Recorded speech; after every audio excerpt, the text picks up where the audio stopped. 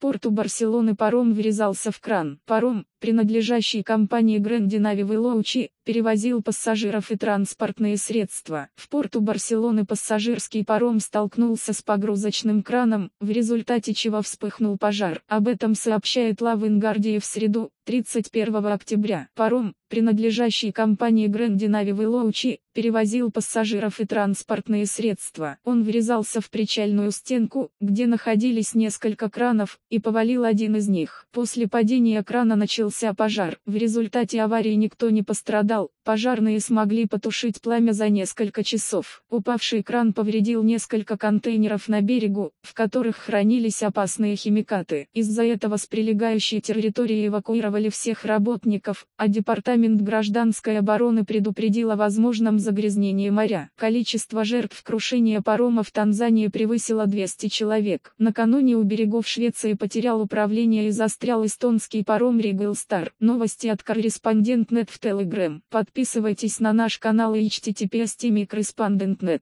По материалам сайта Newsgro.com.